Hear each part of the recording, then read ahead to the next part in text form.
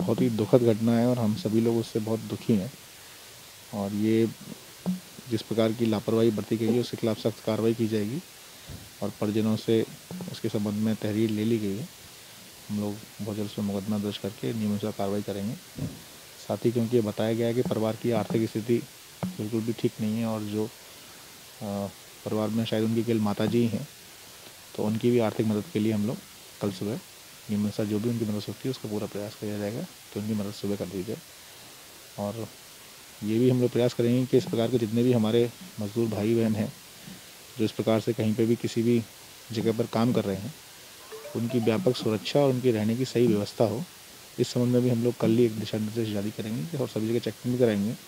कि ऐसी कोई भी स्थिति ना बन पाए जिससे कि आने वाले समय में किसी भी तरीके से हमें किसी की भी जनहानि का सामना करना पड़ सके। दो बच्चे तो पंद्रह और बारह वर्ष के हैं और एक बहुत ही छोटी बच्ची है, दो महीने की।